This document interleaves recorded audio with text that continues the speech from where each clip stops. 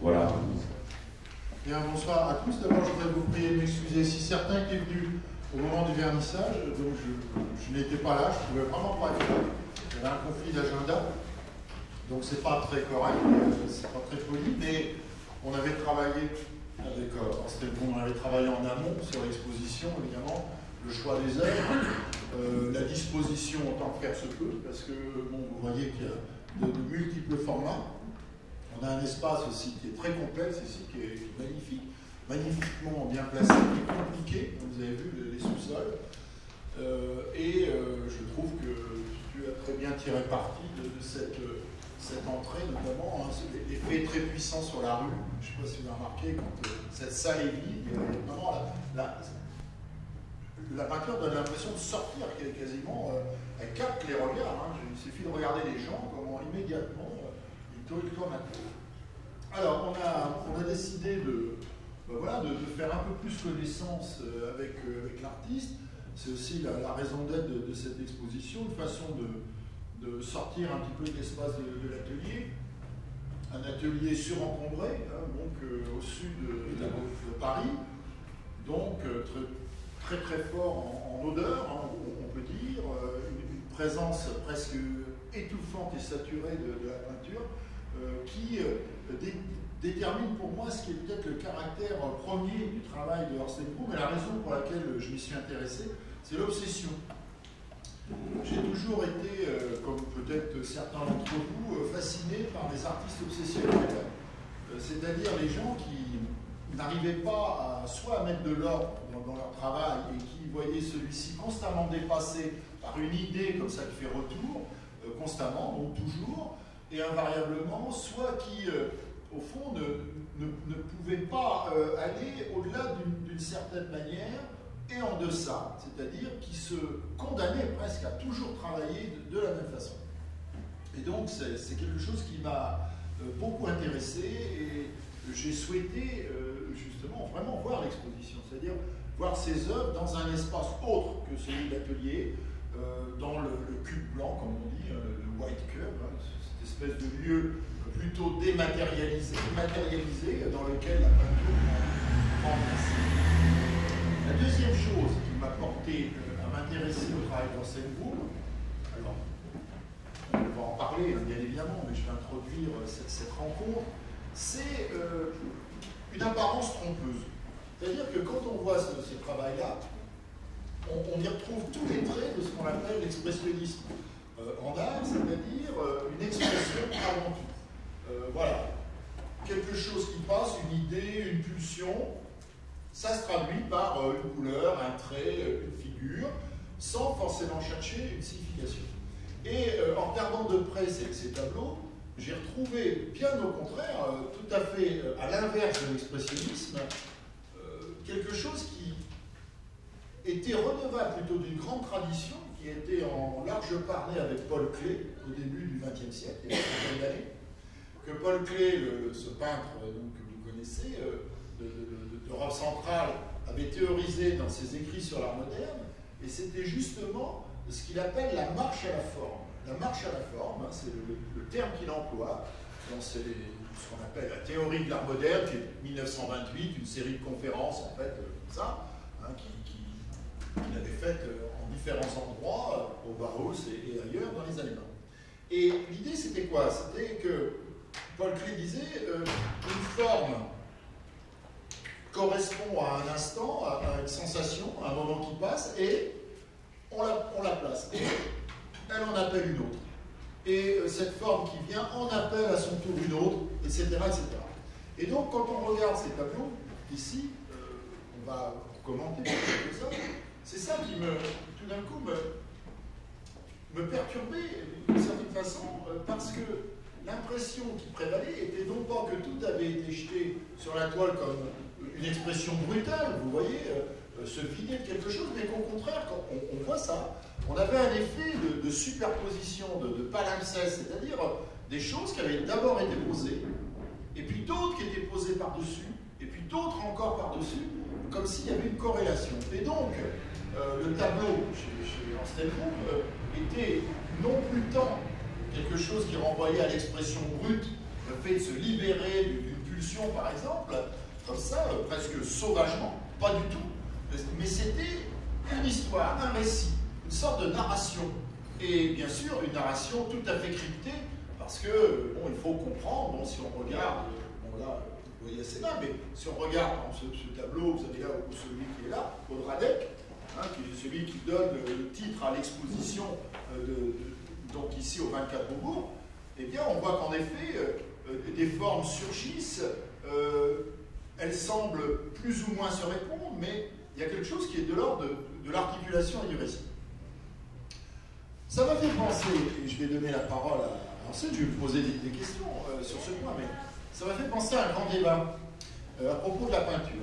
Aujourd'hui, il n'y a plus de débat sur c'est au sens où, bon, on en a fini avec toutes ces théories assez fumeuses et il faut bien le dire quand même, euh, euh, on pourrait dire insuffisamment euh, réfléchi sur le fait que la peinture, à un moment donné, serait morte. Bon, je ne sais pas, on n'est pas tous de la même génération ici, mais quand moi j'ai grandi dans le monde de l'art, il y avait une sorte de, vogue conceptuelle, bon, d'art réfléchi, méditatif, etc., où finalement tout ce qui constituait l'expression picturale, euh, l'amour de la couleur, euh, l'amour des matériaux, des pigments, tout ça été, je dirais pas banni, mais considéré comme appartenant au passé. C'était, voilà, disons, la peinture est morte, c'est fini, c'est un vieux médium, euh, on ne peut plus rien exprimer avec ça, bon, voilà.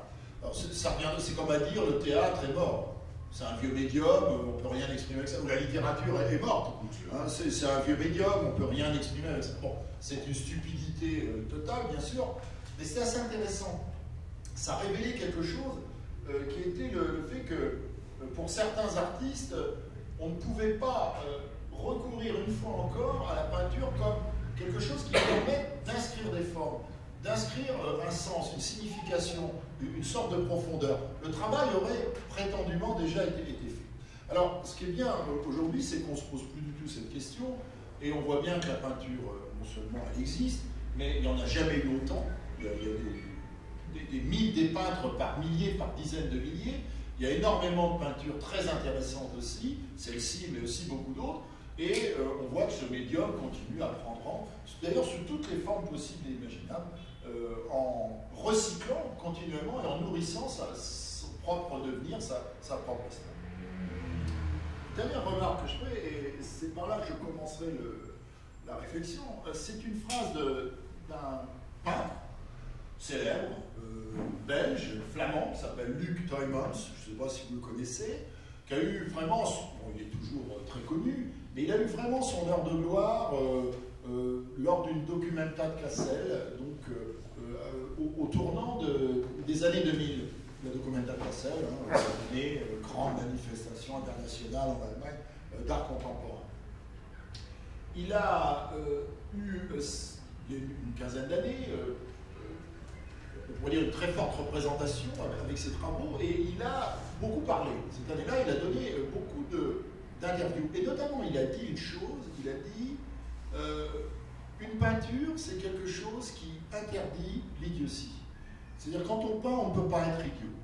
Ah, alors pourquoi Et quelle est l'explication que, donne Luc Tolmans? Il dit, eh bien, on est obligé de rester un certain temps sur ce que l'on représente. C'est-à-dire que là où euh, la photographie, par exemple, là où la vidéo, qui sont des médiums de saisie mécanique du monde, euh, finalement, euh, vous permettent de passer très très vite, même de faire semblant de, rester euh, dans le monde que vous représentez, la peinture vous oblige à euh, revenir sans cesse. Et d'ailleurs, les tableaux de Thomas sont généralement des photographies qu'il reprend dans la presse, comme faisait un petit peu Gerhard Richter avant lui, et donc il, refait des, images trouvées dans la presse. Donc, ce qui lui fait dire on ne peut pas faire de peinture idiote. C'est comme ça. Alors c'est le sentiment que j'ai eu euh, euh, est-ce qu'on peut faire une peinture idiote? Certainement. On peut certainement faire peinture. Euh, alors comment s'y prend-on euh, Et peinture des villes aussi. Je, pense pouvoir répondre à tout ce que tu as évoqué en partant de l'a priori expressionniste, l'obsession, etc., en deux axiomes très simples, qui sont, je crois, mon point de départ par rapport à l'attitude que, que la peinture me, me pousse à entreprendre.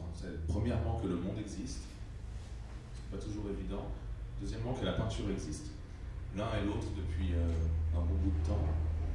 Et l'un et l'autre comme des phénomènes naturels qui sont ce qu'ils sont, qui se déroulent comme ils se déroulent, qui savent s'il faut être un petit peu animiste ou euh, déterministe.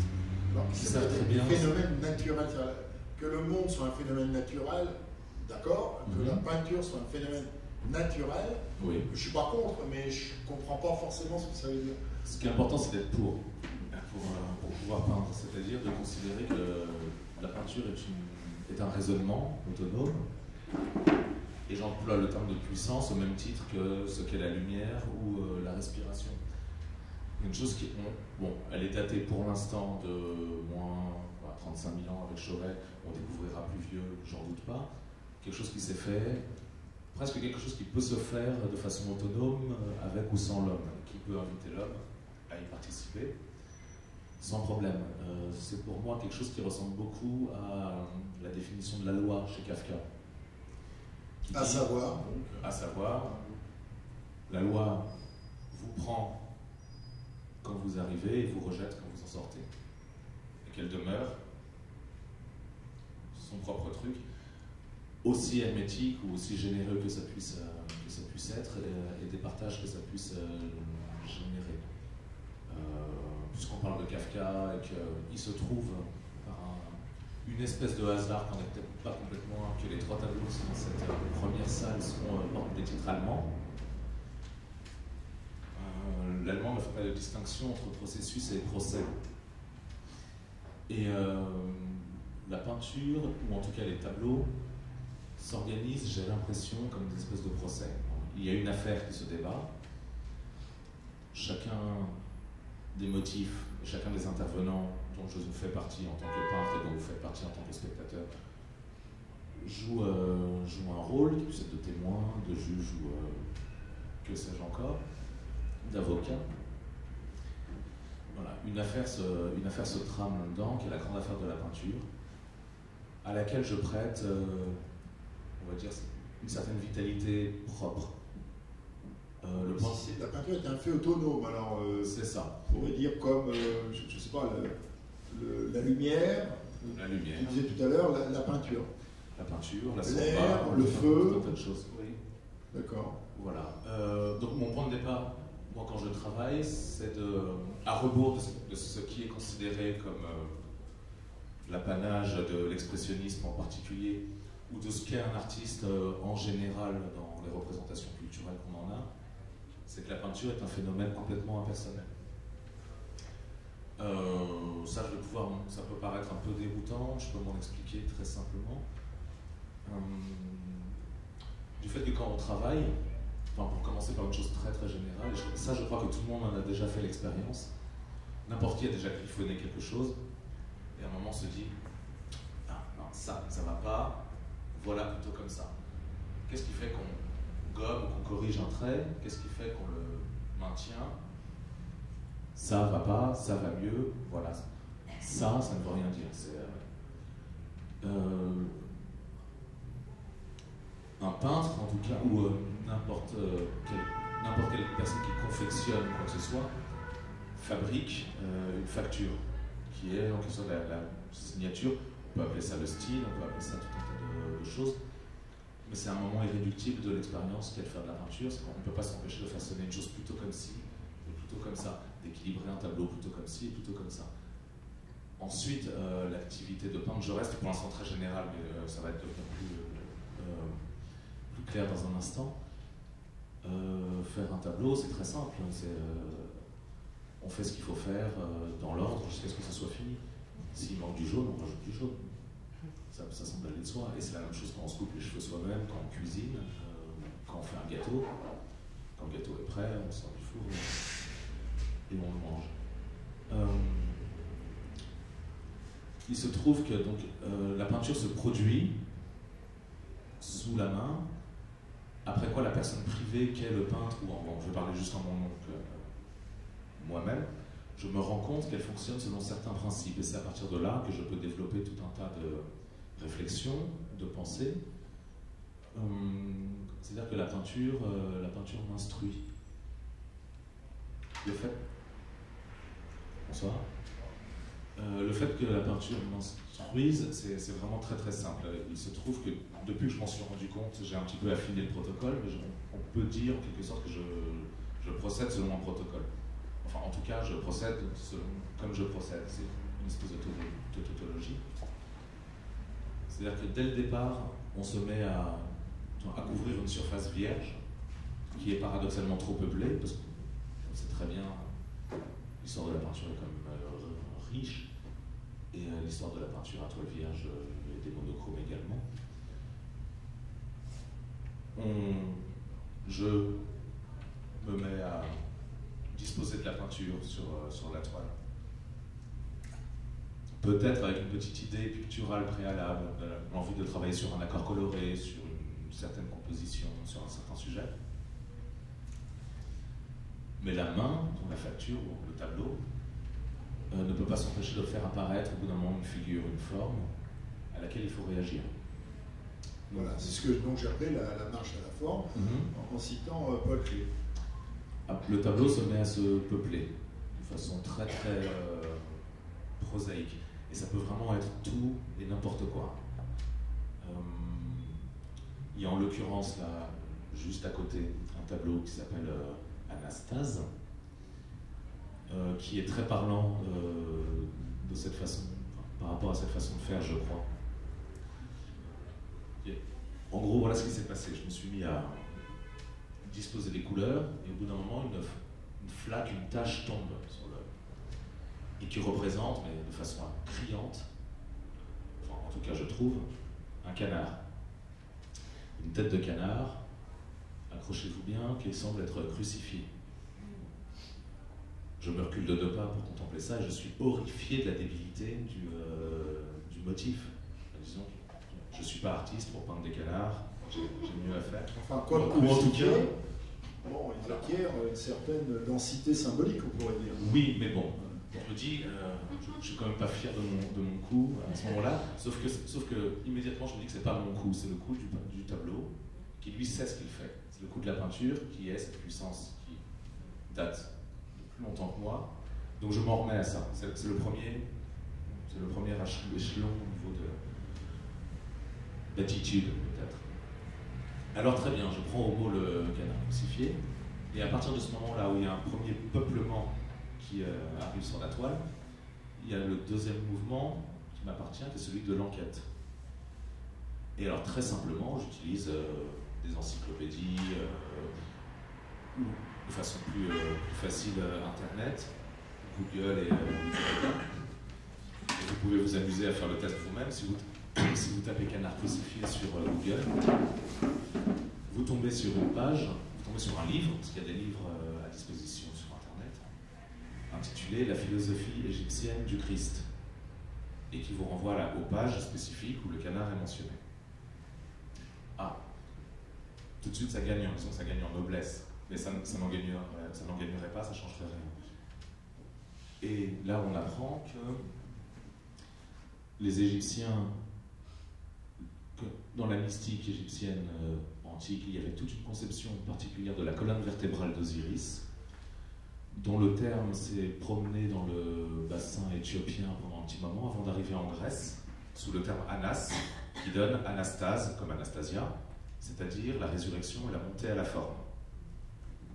Ah, c'est magnifique, c'est extrêmement intéressant. En plus, ça parle de problèmes formels. Je n'aurais jamais découvert ça sans le canard à la noix du, départ, euh, que j'étais même presque prêt à, répudier. La peinture sait, elle, sait, ça je me dis. En tout cas, je décide de me le dire. Ça me, et ça me remplit de joie. Et ça me soulage de pas mal d'autres choses, parce que c'est du coup la seule autorité que je concède euh, sur moi euh, ici-bas, avec celle de respirer les fonctions organiques. Voilà, donc la peinture m'instruit. J'apprends cette chose que je ne savais pas, euh, qui peut ensuite engendrer une certaine exégèse, et qui me fournit un répertoire de formes, en l'occurrence Osiris, euh, la, la, résurrection, patin, enfin tout ce qu'on voudra. Et j'ai pris le pli également de. Disons qu'avec cette méthode, ou en tout cas cette façon que j'ai repérée dont la peinture fonctionne, c'est comme ça que, je l'entreprends, 9 fois sur 10, quoi que ce soit qui tombe sur, euh, si c'est, euh, je sais pas quoi, un tricycle, un aigle et, et un chewing-gum, ou une cacahuète sur le 9 fois sur 10, il existe déjà, parce que le monde existe, il existe déjà un mythe qui contient ces éléments-là. Ou un épisode euh, religieux, un conte, que sais-je encore, mais toujours, sous ma main en tout cas, quelque chose qui appartient à la grande histoire, ou à de la mythologie, ou de l'archaïque. Donc à partir de ce moment-là, moi je suis, euh, selon la formule consacrée, bête comme un peintre, idiot, sait-on jamais, un idiot, euh, disons, érudit de force parce, que la peinture euh, instruit. Et très bien, euh, le tableau veut de l'Osiris, je lui donne de l'Osiris. Il veut de la colonne vertébrale, il faut la caler quelque part, on va lui faire tenir dans la main, ou lui mettre sur la tête, ou que sais-je, un Lazare, etc. C'est très différent de la position de, de Luc ce qu'on évoquait tout à l'heure. Ah oui, on est pas la, la position de Tolman, c'est de dire on est perdu dans le temps, et que permet la peinture? Elle permet une sorte d'arrêt une sorte de sédimentation. Le, temps que l'on représente quelque chose, euh, d'une certaine façon, on vit avec, on, se l'approprie, euh, on existe justement. Et, la peinture serait considérée par lui comme une sorte de ralentisseur. Hein, on pourrait dire ralentir peinture, hein, d'une certaine façon. Là, c'est pas du tout le cas. Alors, ce qui est très frappant chez. En confection, non, mais à l'arrivée, euh, une fois que le tableau est fait, peut-être bien que oui. Alors, ce qui m'a toujours frappé, c'est quand Orstenboom m'a parlé, et comme il vous a parlé tout à l'heure de, la peinture, on peut dire que c'est une sorte d'entité. C'est une, entité, c'est un pouvoir, et surtout c'est une totalité, dont chaque peintre euh, ne, développerait d'une certaine façon qu'une partie de l'expression. En fait, c'est comme le langage. J'ai tout de suite pensé au langage. Bon, voilà, ne naît pas euh, finalement dans, un monde sans langage, même si on doit l'apprendre bien évidemment, euh, le domestiquer, mais le langage nous préexiste, quel qu'il soit d'ailleurs, hein, une langue ou l'ensemble des langues, etc. Et donc, ça voudrait, la manière dont tu parles de ta peinture, ça reviendrait à dire par exemple qu'un écrivain ou un poète est quelqu'un qui, dans le champ énorme du langage, en fait, ne fait que, que ponctionner quelques éléments pour construire quelque chose d'articulé sur le plan du langage, mais qui n'est qu'un fragment infime euh, d'un tout, euh, finalement, que le langage aurait presque déjà constitué en lui-même. Alors, c'est assez curieux. Alors, je vais, faire une référence pour, bien faire comprendre ça. C'est exactement comme euh, bah, chez les protestants, par exemple, la prédestination. Qu'est-ce que c'est que la prédestination? Si vous lisez, bon, l'épître aux Corinthiens de Saint Paul, pas Saint Paul Ardenne, hein, Dieu merci, hein, Saint Paul de Tarse, bien évidemment, il dit Vous, chrétiens, Dieu vous a élus avant la fondation du monde. Et c'est sur cette base que la prédestination euh, naît comme euh, conviction euh, religieuse. Ça, ça, reviendrait à dire Vous, peintres, la peinture vous a élus avant que vous n'existiez. Hein, c'est un peu ça. C'est-à-dire, euh, voilà, bon, il y, a quelque chose qui est le monde, pour les chrétiens par exemple, qui, disent, ben voilà, quand on, adviendra dans, ce monde, quoi qu'on fasse, de toute façon, c'était déjà prévu. Et le peintre dit, ben, quoi que je fasse dans ce monde de la peinture, dans la peinture, d'une certaine façon, c'était déjà prévu. Je ne suis qu'un micro-artisan qui travaille à révéler un champ euh, donc inouï qui, qui le dépasse, et dont je ne révélerai jamais qu'une infime partie. Donc, c'est un phénomène réellement de, sacralisation. On peut dire que euh, la, peinture est, considérée comme une divinité. Hein. Parfois, c'est une sorte de, réalité presque divine, une totalité dans laquelle tu n'es jamais qu'un acteur parmi d'autres. Ce qui explique pourquoi, par exemple, dans un grand nombre de travaux euh, peints de Orsenbrook, vous reconnaîtrez des formes picturales. C'est-à-dire, les tableaux dialoguent avec la peinture existante. Bon, c'est très visible, il y a des, peintres récurrents, je pense à Picasso par exemple, Euh, moi, la première œuvre que j'ai vue de près d'Anselm c'est une œuvre où immédiatement j'ai reconnu une partie de Guernica, l'œil par exemple, bon, des, œuvres qui sont devenues presque des fétiches visuels, on pourrait dire les choses comme ça. Elles appartiennent, Rosalind Krauss parlait de euh, l'esthéticienne américaine, de, l'inconscient optique. On aurait une sorte d'inconscient optique qui fait qu'il y a, y a des, des formes qu'on aurait presque toujours déjà vues, qu'on reconnaîtrait immédiatement. Bon, où immédiatement on reconnaîtrait ce qu'elles signifient, sans même savoir ce qu'elles sont. Alors, euh, je me suis dit, voilà une position qui est, qui est peu conventionnelle, euh, même qui est, qui, est, difficilement admissible. Enfin, voilà, moi j'ai du mal avec ça. Ah, Parce que ça, ça bat en brèche le principe de la création. C'est-à-dire, en fait, on pourrait dire, quel est le créateur? Le créateur s'appelle peinture, et que fait le peintre? Ce n'est pas un créateur, c'est juste quelqu'un qui, qui, pioche là-dedans et qui figure quelque chose. Alors, oui, euh, bah, allez-y, je vous en prie. C'est Orsten, c'est ça le nom? Oui. Il a quand même dit j'ai failli répudier, j'étais prêt à répudier le canard crucifié. Donc là, là, cette marge de liberté. Oui. Oui. Euh, Mais il l'a accepté quand même, ce canard. Ah oui, c'est ça l'audace C'est ça, c'est ça son. Il faut être courageux pour accepter. C'est-à-dire que vous, savez ce que signifie le mot euh, motif? Littéralement, c'est ce qui met en mouvement, ce qui met en branle quelque chose. Donc c'est à partir du moment, c'est rétrospectivement, quand il se trouve qu'en effet le motif a motivé, dans du tableau, qu'il a pu s'inscrire comme, euh, comme motif dans ce cas, euh, dans ce cas précis. Et c'est comme et dans en général. Alors pour répondre, pour faire une espèce de coup de filet par rapport à tout ce que tu as dit, parlé des protestants. Alors, les protestants, c'est très bien. Les juifs, euh, c'est mieux. j'en vois en face de moi qui, qui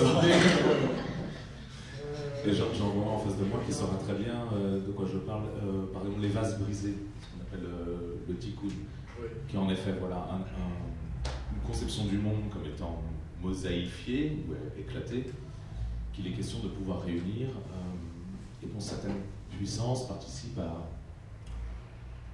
jouer dans, dans, cette arène-là. L'idée que, bon, c'est bien ça, euh, dans, la Kabbale, hein, l'idée c'est que le monde, l'unité du monde est détruite. Bon, et donc il faut reconstituer ce monde euh, à partir d'un certain nombre d'entités qu'on appelle les séphirotes, si mes souvenirs sont bons. Et euh, donc le peintre serait une de ces personnes qui reconstruirait un monde ébranlé à l'origine. Alors la, peinture a ceci de, formidable, je le dis, euh, je le dis comme, je, le pense, c'est qu'elle qu'elle peut prendre en charge. La peinture s'occupe de prendre en charge le monde, de le faire proliférer euh, selon. Euh, le peintre, lui, est celui qui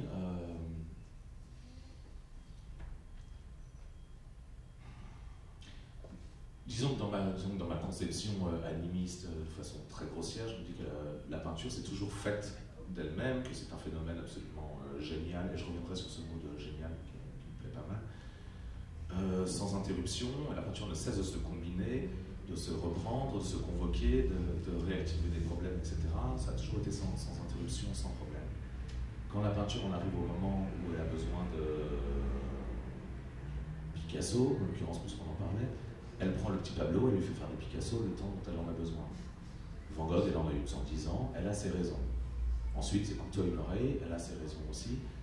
Il n'y a, pas, a pas vraiment à, questionner ces, euh, ces choses-là. Euh, le fait... Quelles sont les raisons qu'aurait la peinture de, de prendre Orsten Boom C'est-à-dire que. 2017, par exemple? Ben parce que je suis peintre. Monsieur, monsieur, monsieur ah, euh, on a parlé de lettres et d'événements tout à l'heure. Lettres et d'événements, c'est un livre de philosophie. C'est-à-dire l'être l'événement, il y a l'événement, l'événement c'est ce soir, et en fait, les peintures servent à, la soirée. Donc il faudrait euh, faire une grande peinture, une grotte, une grotte. Ah, mais c'est très bien de parler de grotte. C'est le blanc là, le blanc, les lumières.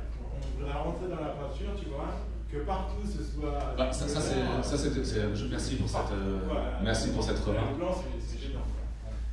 Bah, C'est-à-dire que là, on, commençait à parler de choses un petit peu religieuses, mystiques, etc. Euh, j'y viens. Disons que moi, ce qui m'occupe, c'est pas, pas tellement le transcendant, c'est vraiment l'immanent.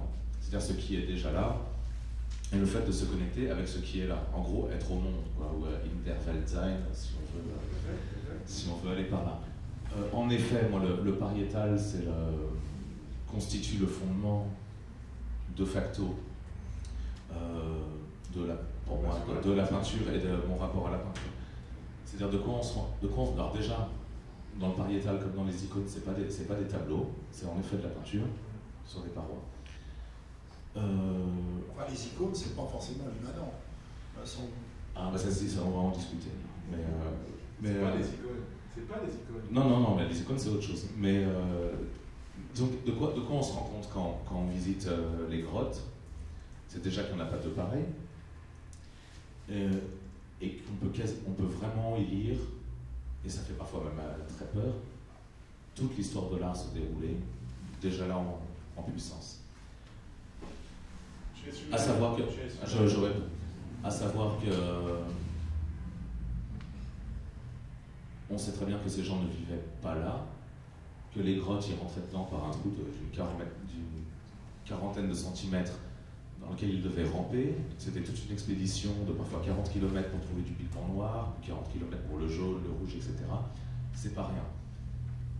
Ils s'éclairent avec des petites bougies euh, merdiques qui devaient durer à peu près 10 secondes. Et une fois qu'ils arrivent, qu'ils entrent dans, dans la grotte en tant que telle, ils ne se mettent pas immédiatement à peindre dans la première salle on se rend très bien, très bien compte dans la salle la plus connue de Lascaux, la salle des taureaux, qui a vraiment une, pensée de l'accrochage. Sur le mur de gauche, les bêtes vont en avant, le mur de droite, elles retournent en arrière, et au milieu, on a un cheval inversé. Il y a toute une conception. Euh, on a beaucoup glosé sur euh, le pariétal des interprétations qui vont du euh, chamanique au psychanalytique ou que sais-je encore, jamais des interprétations picturales. Les seuls problèmes qui importent au tableau sont les problèmes picturaux. Celui de l'accrochage de la disposition en est un, euh, et celui du choix du sujet en est en effet un autre. Et on se rend compte de quoi? On se rend compte qu'ils ne peignaient pas les animaux qu'ils avaient à portée de main, à portée d'yeux, et qu'il existe en effet des représentations humaines qui sont dans tout autre régime. Autant ils savent placer les galbes, les proportions à la perfection, avec parfois ils avaient 30 cm de recul, pas de lumière, ça tient, c'est parfait. Pour euh, l'être humain, ça va pas de soi du tout. C'est en, bâton, et les représentations humaines sont toujours dans les endroits les plus inaccessibles euh, de la grotte. À Lascaux, c'est dans un puits, où il n'y avait pas d'oxygène, on sait que le type qui a peint ça est probablement mort du fait de, s'est sacrifié pour le, pour le pain. Euh, pourquoi c'est, on va dire très grossièrement, beaucoup moins bien peint que ce qu'ils savaient faire avec les animaux. Euh, mon idée, et qui m'est assez chère, et je crois fondamentale dans, mon rapport à la peinture, c'est que c'est une question qui nous est adressée. En tout cas, c'est un fait qui, qui, nous apostrophe. Le fait de le repérer nous apostrophe. C'est que les animaux, c'est que le monde existe. Les animaux font partie du monde. L'être humain, ça ne va pas de soi est-ce que la forme humaine fait partie du monde Et qu'il est très probable, à mon sens, que l'art ait été inventé pour se poser cette question-là, qui est une question qualifier de éthique, mystique, ou la forme humaine fait-elle partie du monde? C'est une question. Et c'est une question qui motive, pour revenir à la question du, motif, qui motive. Et on peint. Bon, on se rend compte qu'il y, a, a plus de temps qui, sépare Chauvet, par exemple, de Lascaux que Lascaux de nous. parce que Chauvet, donc c'est moins 38 000 à peu près. Oui. Et Lascaux, moins 18 000. Et à Lascaux, ils sont moins bons déjà. dans l'époque euh, contemporaine, il vaut mieux investir dans c'est la, c'est la, Il vaut mieux investir dans une cave toujours. Et puis tu la portes à cave. Il y en a, il y en a une d'ailleurs ici, dans, dans cette ah, exposition. Voilà, bah, voilà, bah, il faut, continuer. Voilà. De tout temps, partout, là, partout, partout. Il y a une grosse là, partout. Donc disons que euh, vous aurez peut-être remarqué euh, dans la peinture que je fais, j'ai remarqué, j'ai fini par remarquer qu'elle procède selon certains principes de base. L'un, c'est celui d'une grande saturation, qui aboutit à une grande neutralisation. Euh, ça, on y reviendra peut-être plus tard, qui fait qu'en effet, je considère que c'est quasiment anti-expressionniste, étant donné que ces tableaux ne sont pas des images. C'est plutôt ce que moi j'appelle ça des fatras, pour, reprendre un terme qu'on utilise dans l'étude, dans, dans le pariétal. Euh, où il n'y a pas d'efficace d'image. Euh, Et une autre chose, c'est que de manière de procéder, une des grandes choses qui est évacuée, c'est la perspective. Pour reprendre la, question euh, que le pariétal adresse, à mon sens, qui est de savoir si la forme humaine fait partie du monde, j'ai une détestation de la, perspective qui constitue pour moi quasiment une espèce de crime contre l'humanité. C'est-à-dire tout le monde, a, toujours remarqué que les choses au loin rapetissent, etc. Euh, si les Égyptiens avaient voulu l'utiliser, ils l'auraient fait, les Sumériens, les Grecs, etc. Euh, il y a une bonne raison à ça. Quand la perspective apparaît, elle place l'homme au centre du monde, c'est-à-dire que le monde devient à la mesure de la conception humaine. C'est-à-dire que littéralement, on voit un paysage euh, perspectivement réglé dans lequel des bonhommes se déplacent à la mesure humaine. Et ça ne va pas de soi du tout, ça, ça, dérègle les choses à un niveau euh, fondamental. Un autre épisode historique aussi, puisqu'on va tous les faire, je vais te laisser la parole. À savoir quand même qu'il y a deux, deux histoires de la perspective. Il y a une histoire, la perspective romaine qui est binoculaire, et la perspective évidemment de, par Alberti, hein, des perspectives. Alberti disparaît. Évidemment au XVIe siècle, qui est monoculaire, celle-ci. Hein, donc, euh, euh, je pense que tu fais plutôt référence à la deuxième oui. qu'à la première. Parce que la, deuxième montre, c'est une perspective. La première, c'est une perspective à deux foyers. C'est une profondeur perspective, à, deux foyers, c'est quelque chose qui ne peut pas mettre l'homme au centre. C'est impossible. Par contre, avec un monofoyer, bien sûr, c'est le regard humain qui, qui, achève la composition. Donc le monde est à la mesure de l'homme, puisque c'est lui qui le constitue. Oui, c'est-à-dire qu'il faut, il faut toujours. Ouais, l'histoire du point de fuite, c'est encore autre chose.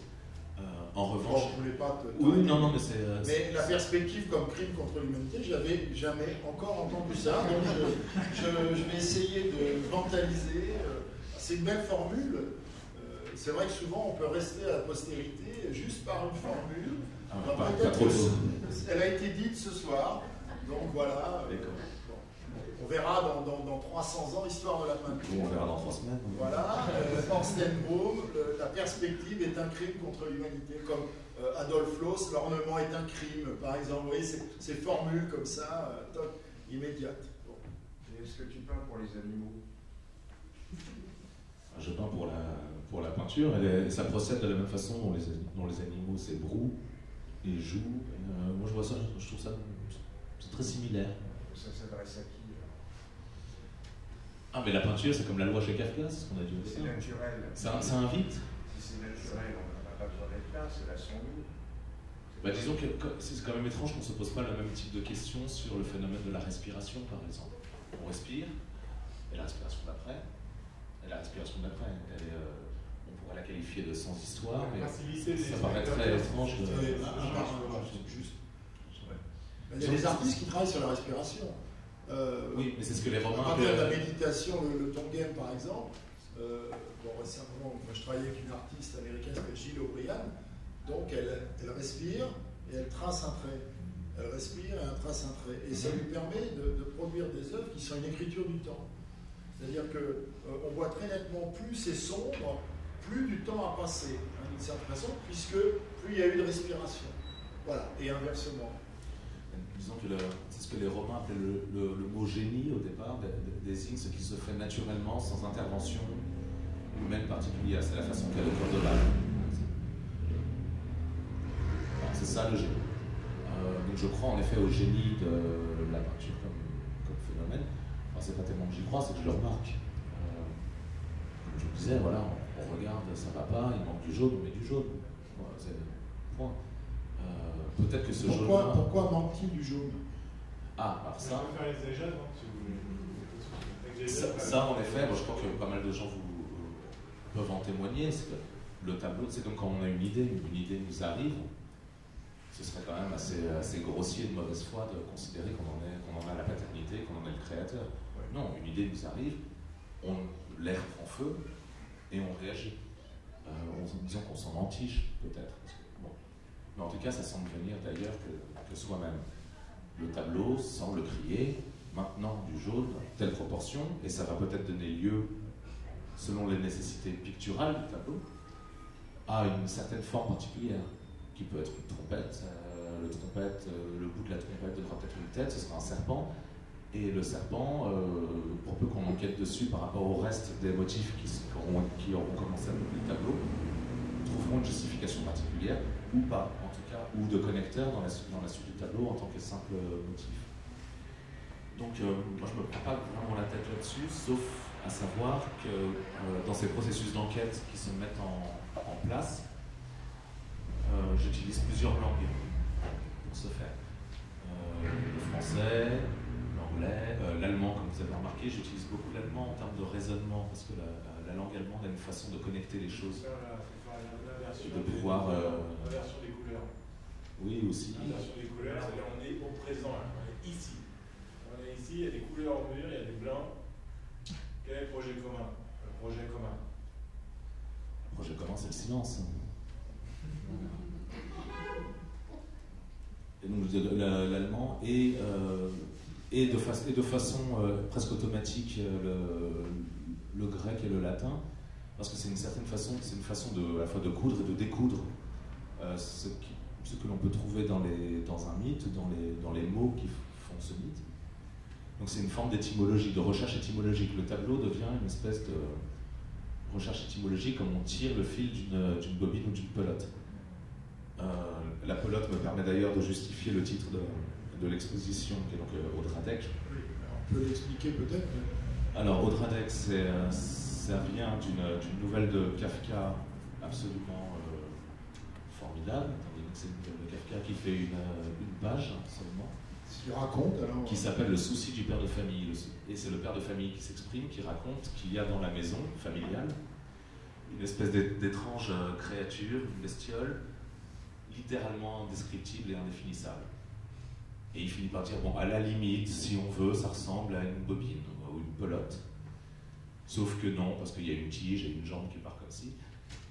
Et la chose rôde dans la maison, parfois en bas de l'escalier, et un dialogue s'installe. Qui es-tu? Audradec, ça veut rien dire. Euh, où habites-tu? Sans domicile fixe.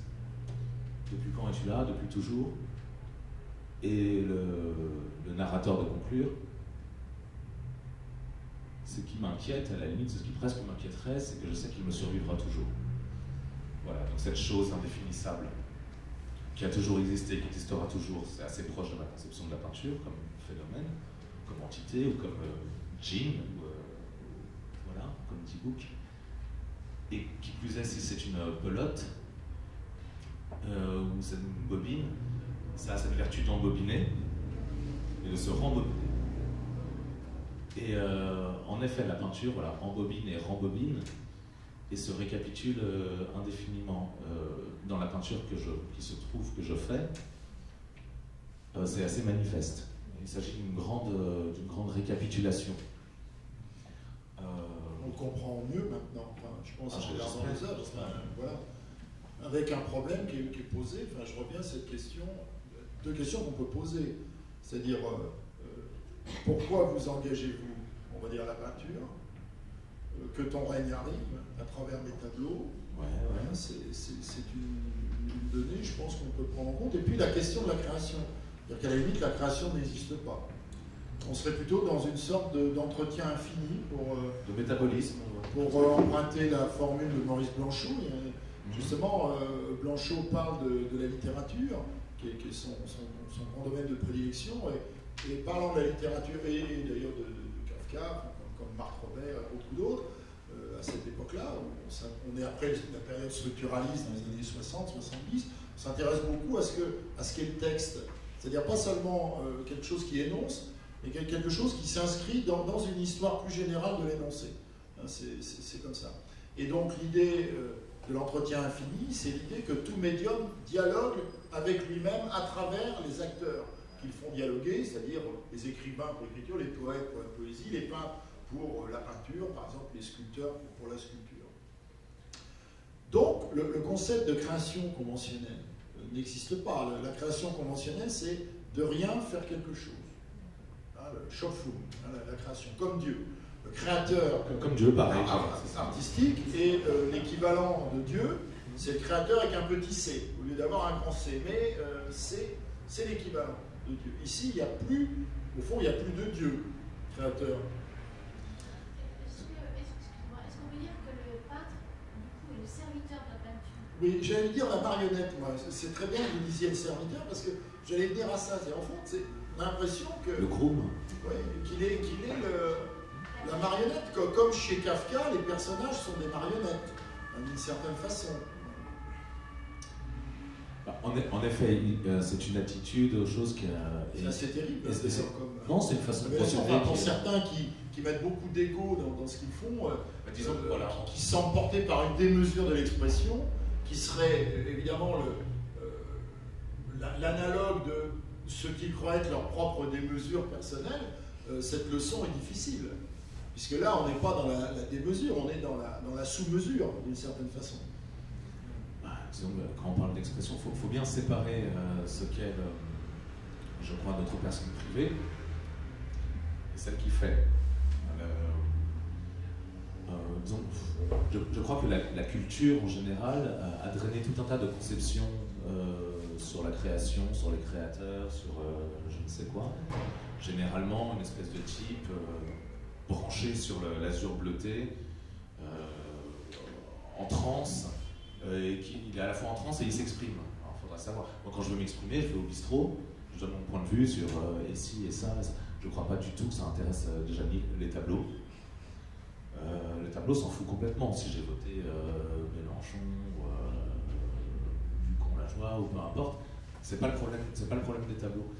Et à la limite, le- le type de peinture qui est Cervantes disait, enfin je crois, qu'il disait, oui, j'écris ce qui sort de ma plume. Bon, ça je comprends bien.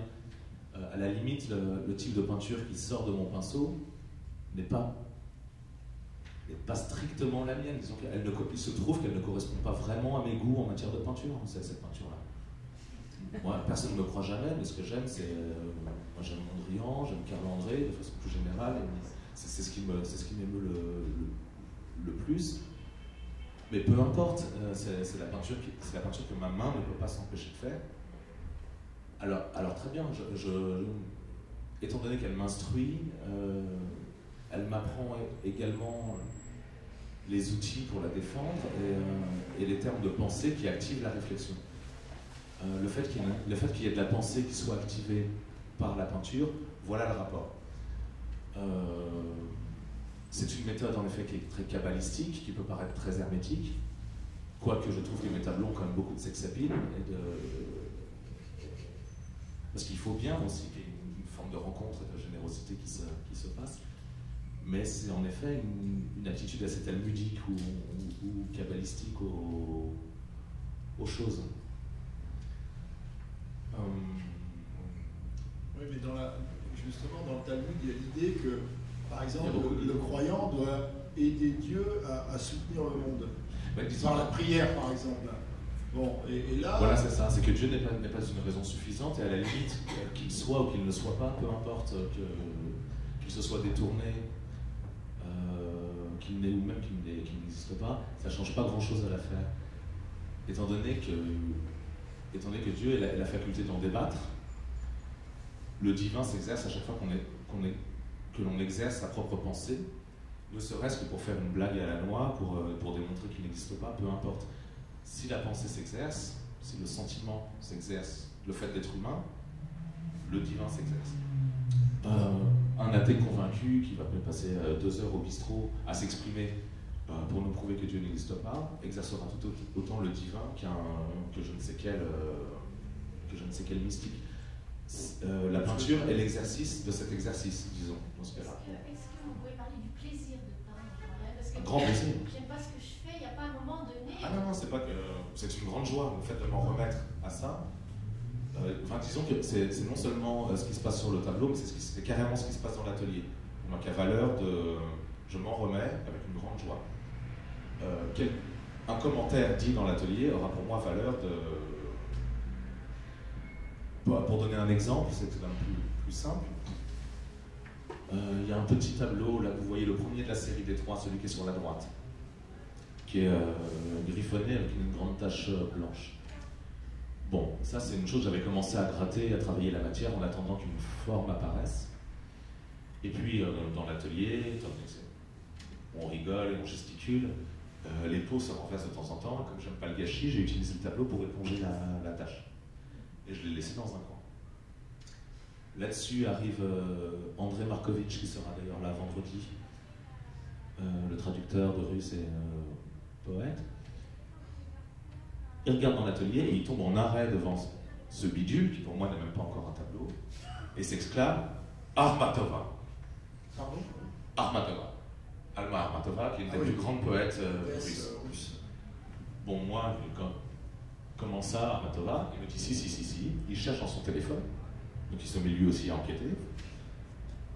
Il cherche, il cherche, et il finit par trouver en effet une photo d'Armatova incroyable. On pourrait la superposer avec le, le de préalable. C'est exactement ça. Les coordonnées sont là. Non seulement ça, et là-dessus, il ne peut pas s'empêcher de réciter des, des poèmes, et c'est tant mieux. Il me récite un poème d'Armatova magnifique qui parle accrochez-vous bien, d'une colonne blanche. Ah Là, pour moi, voilà, le monde retombe sur ses pattes à ce moment-là.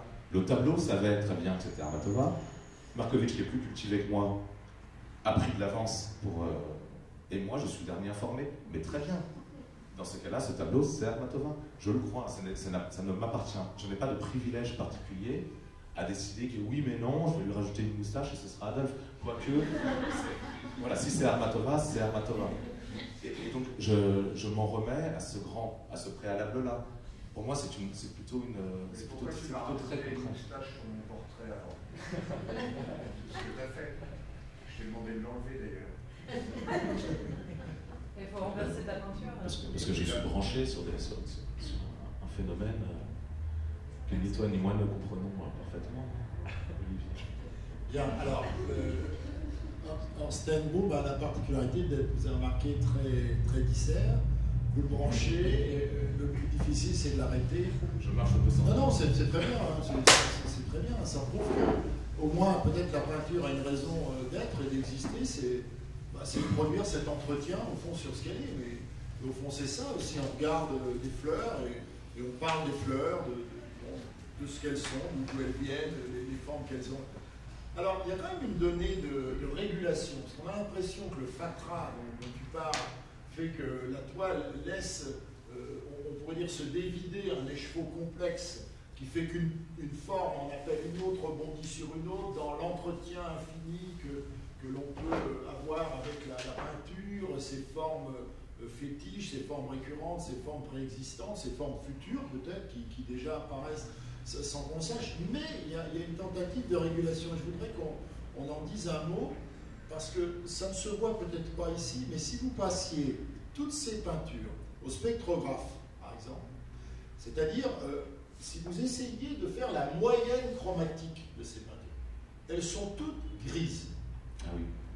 Elles sont grises, ce qui est, tout à fait stupéfiant parce que euh, on voit par exemple là, là, une sorte de, jaillissement euh, coloriste qui nous ferait dire bon, euh, là, ça va être par exemple une sorte d'orange clair qui, va dominer, par exemple ici, bon, peut-être un gris, on le verrait plus, mais il y a toujours cette volonté dans la peinture euh, d'Orstenboom de, de retrouver les fondamentales, hein, les, couleurs fondamentales, et, finalement de produire un résultat qui sera le gris. Et ça m'a beaucoup frappé quand euh, on s'est rencontrés, euh, j'avoue, la, la première fois, et qu'on a parlé de ce travail.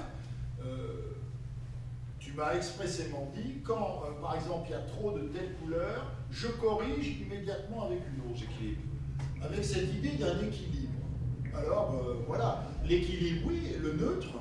Et bon, le neutre, le neutre, aller vers le neutre, c'est aller vers rien. C'est-à-dire, c'est n'être euh, étymologiquement ni pour ni contre. C'est ça le, le neutrum, hein, d'une certaine façon. Alors, euh, non, non.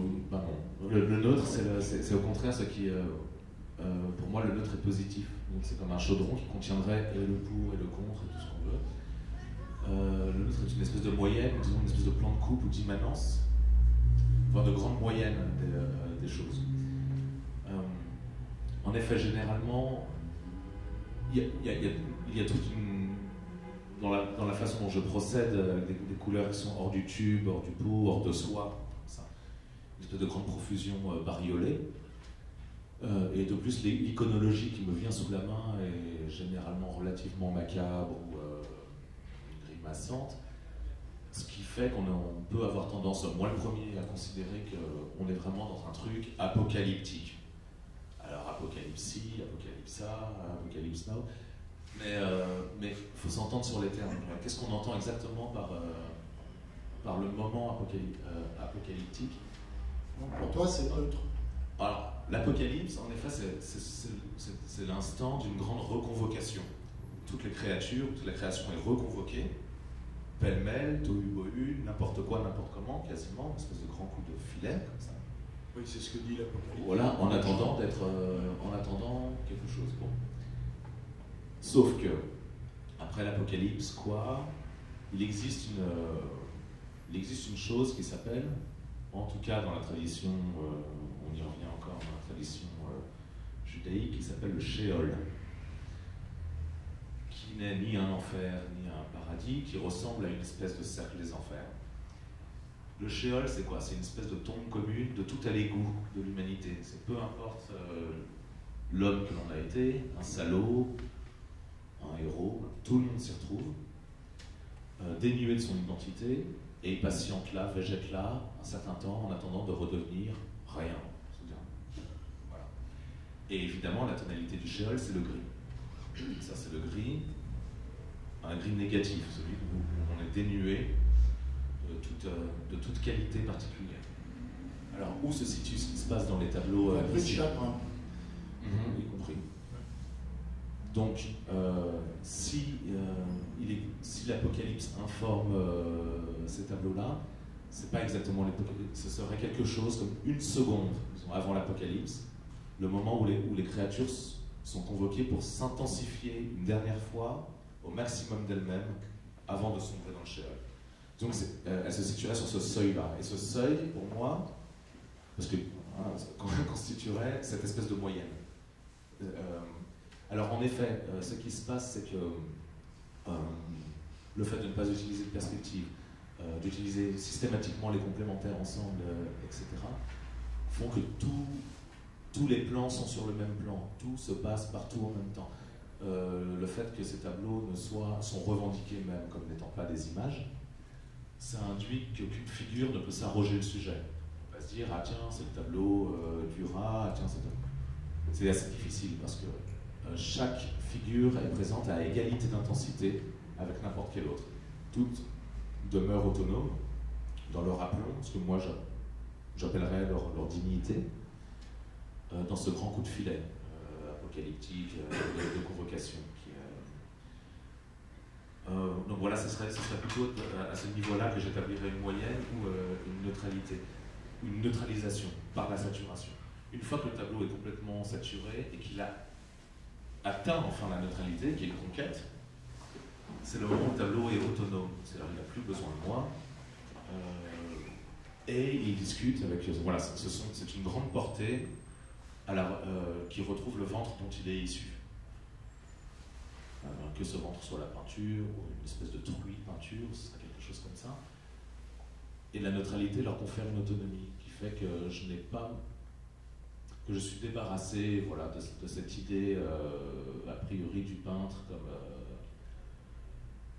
je sais pas quoi, génie, génie voilà, à la limite, le tableau, si je, si je suis content de celui-ci et celui-là, non, les tableaux s'en foutent royalement. C'est vraiment pas du tout leur problème et ça me fait du bien. Parce que j'aurais fait, mon, euh, fait mon travail de, de, tamis. Très bien. Alors, merci. Hein. L'heure passe, hein, finalement. Hein. C'est très bien, c'est très intéressant.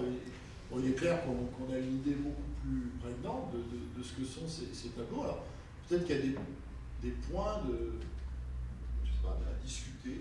Le public est là pour ça. Donc, si vous avez des questions à, poser à, Orsten, Gaume, c'est à vous. Et merci d'être venu. D'ailleurs, je, crois que ça n'a pas été euh, évoqué au départ. Merci infiniment d'être là ce soir. Alors, alors on va quelques questions. Quand même, merci. Euh, une question du génie et tu as dit que tu y reviendrais. Je ne suis pas sûre que tu y sois revenu.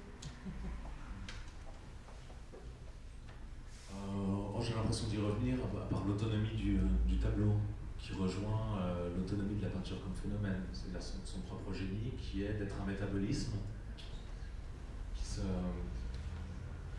disons que mon propre métabolisme en tant que faiseur emprunte à celui-là. Disons que après c'est très simple, hein. on, travaille, et puis on, a soif, on boit un coup, on a faim, on mange, et puis on, et on recommence jusqu'à ce que ce soit fini. Le, alors bon, en effet, pour ne pas être complètement de mauvaise foi, il se trouve que j'existe en tant que personne que j'ai mes avis sur la peinture, j'ai des avis sur des tas de choses. Euh, je, suis beaucoup moins humble en réalité que je le suis en tant que peintre. Ah ben voilà. La, preuve en acte. Mais euh, étant, donné que ça ne, concerne pas les tableaux, euh, ni je crois la, la peinture en elle-même, je, dissocie ça complètement. je suis génial que quand je, quand je fais de la peinture, disons, parce que la peinture est géniale. Euh, que les tableaux soient bons ou, non, euh, ça, ça, devient mon problème. Et, euh, c'est un problème, un problème trivial. les idées que je peux avoir sur l'histoire de la peinture, alors j'en ai bien sûr. il se trouve que je considère que ce que je fais est d'une tradition flamande, par exemple, plutôt que française, et qu'elle entretient tel ou tel type de rapport ou d'enjeux formels avec, avec d'autres choses. Mais euh, quand, quand j'évoquais le génie, c'était plutôt par rapport à, l'attitude générale. Pourquoi flamande? Pourquoi flamande? Pourquoi flamande? Parce que grimaçant, parce que j'aime Sanson. Bah, en effet, si, on fait une espèce de, de marelle de euh, flamande ou nordique, euh, et qu'on prend par exemple Bosch et Bruegel pour tout le répertoire carnavalesque, grotesque, qu'on arrive ensuite à Jordins, dont les, dont les compositions sont complètement bourrées, saturées, chez Jardin, il y a 10 cm qui respire, il y a une tête de chat ou un pied de porc qui. Euh, tout est euh, complètement bourré. C'est vraiment le pain de viande euh, Jardin, enfin en termes de saturation. Et la tradition flamande combine les deux types de saturation, à la fois de composition, de bourrer les choses, et la saturation lumineuse. James Ensor dit à un moment j'ai déniché, j'ai trouvé le carnaval niché dans la lumière. Et c'est à partir du moment où Ensor qui, a quasiment une, attention impressionniste au départ. Je, crois, que c'est quand il fait son Adam et Ève chassé du paradis, où la lumière est tellement forte. Qu'est-ce qui se passe quand la lumière est trop forte? Quand si on fait de la photo avec le contre-jour, on, le voit bien, c'est que les, cernes se, transforment, deviennent monstrueuses, les, surfaces s'aplatissent, les visages deviennent masques, et une forme peut en devenir une autre, parce qu'on ne voit pas très bien. Et, donc, et le grotesque repart de, de cette luminosité-là. Et si on en arrive à Mondrian, qui lutte avec son, son grillage, la saturation euh, colorée, du, euh, chromatique, qui vient de la peinture d'icône, on n'a pas trop parlé de l'icône, mais pour moi ça a été très important, le fait que ce soit une espèce de grand contre-jour. Euh, et ce que l'on voit dans l'icône, c'est l'indice de ce que l'on ne peut pas voir, qui nous apostrophe, parce que la, la perspective inversée, que j'utilise à volontiers, celle-là, dans les icônes, fait que la chose nous apostrophe, nous regarde, nous concerne, à la fois euh, fait de vous le point de fuite, mais en plus il y en a plusieurs. Donc on est vraiment, vraiment dévoré, on est vraiment pris par la, par la chose en tant que phénomène et en tant qu'indice d'une transcendance ou d'une immanence, en l'occurrence, euh, vu que c'est de la peinture, mais que ce ne sont pas des tableaux. Et oui, pour revenir à la tradition flamande, je crois qu'en faisant une espèce de petite marelle, Bosch Bruegel comme ça jusqu'à euh, disons, Jordins, euh, pour aller vite et de Mondrian, euh, ma mauvaise foi s'y trouve plutôt pas mal euh, justifiée. Et puis ensuite, ce que toute la, toute la, ce, qu'a pu donner la peinture allemande, y compris l'après-guerre et, et, contemporaine. Bien, autre question peut-être? Sur la musique aussi, parce que vous avez donné un concert, votre rapport à la musique par rapport à la peinture. Ah, la musique c'est comme la peinture. Alors, en effet, il y aura un concert pour le 1er mai, fête du travail, ici. Alors, je ne suis pas sûr que je jouerai moi-même, même si j'aime beaucoup ça, mais c'est un groupe, un duo français qui s'appelle Arlt. Euh, qui s'écrit alors? A-R-L-T, qui a un nom emprunté à un écrivain euh, sud-américain de, grand talent, qui s'appelle Arlt. Et donc, c'est le 1er mai? Le 1er mai, oui, concert. Ça donc, lundi prochain. Euh, Fin de journée En fin de journée. D'accord. Alors, oui Oui, j'ai une question sur la perspective, Oui que vous évoquiez tout à l'heure, euh, pourquoi cette envie de tout ramener au premier plan et de ne pas jouer dans l'espace avec des plans différents et donner une profondeur en fait l'espace je, je crois, je crois que ça fait les deux. Par exemple, le fait d'utiliser les complémentaires ensemble font que les deux, euh, euh, les deux tonalités vont se. C'est une, solidarité, une solidarité paradoxale. Elles, se, elles sont censées se neutraliser. Disons qu'un motif va monter au détriment d'un autre, si vous vous concentrez sur, euh, sur l'un, Par la couleur. par la couleur et puis la, et, et la, la composition. Et ensuite, quand vous passez à l'autre, ça va être au détriment de- du précédent. Et donc, ça crée comme ça une espèce de jeu d'attention qui fait que la lisibilité est déportée en- incessamment. Dans le...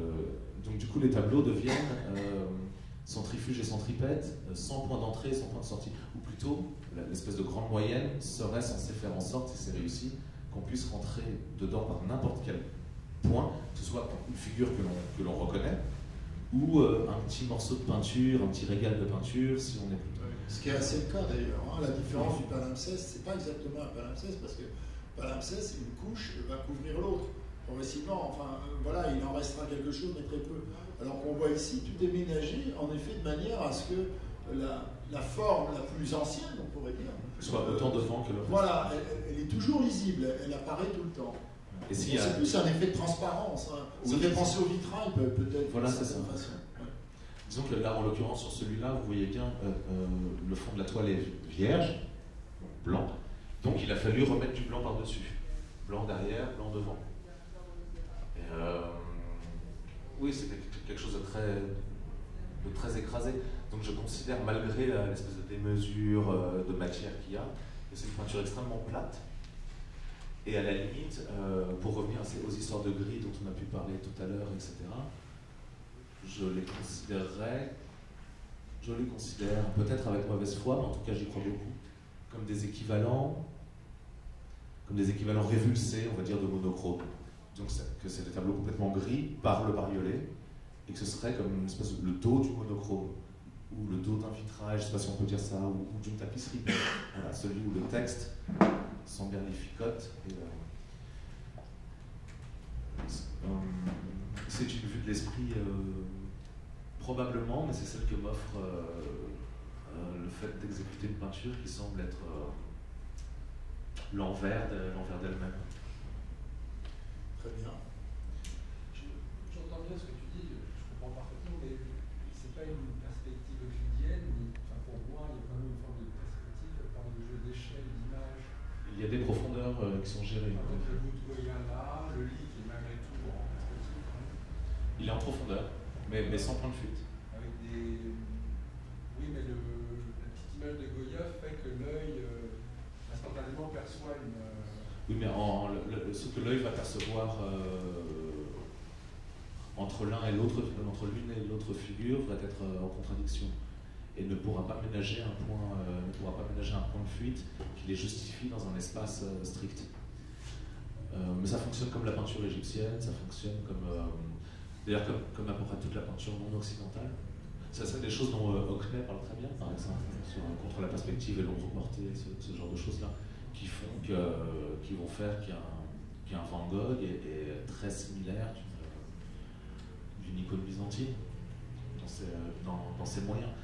Après, c'est des choses qu'on a peut-être un petit peu oubliées. Moi, le, répertoire, l'iconologie, euh, non seulement l'iconologie, mais la façon, euh, je la puise principalement chez les primitifs, chez les, euh, dans le répertoire médiéval. Mais après, je connais, je connais toute la peinture. On est en 2017. Et la vertu récapitulative de la peinture que je fais par-dessus le marché fait que je prends toute l'histoire de l'art, je les prends tous. Euh, L'idée d'avoir un rapport frais par rapport à ça. C'est l'histoire de l'art pourrait très bien dater de ce matin.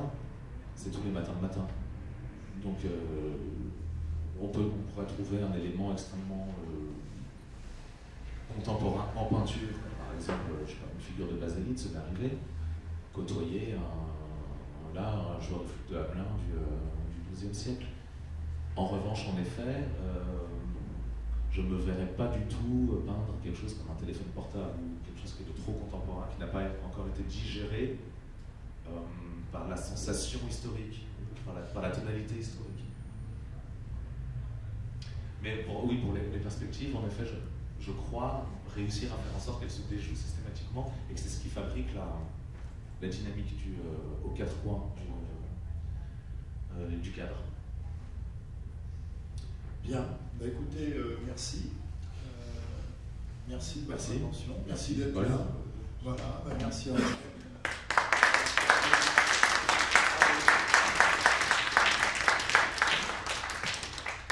prochain rendez-vous. Prochain rendez-vous le. Prochain rendez-vous euh, vendredi à 18h où André Markovic viendra prendre euh, cette place. Et suivi de samedi à 17h où euh, Vincent Corpet, avec qui on pourra parler de perspective et tout un tas de choses peintre éminent. Oui, Vincent Corpet. Donc. Et le 1er mai, ce sera le lundi, c'est la fête, c'est concert. Et la fête, c'est également le 2 mai pour le finissage. Voilà, bien. Bonsoir à tous. Merci. Merci.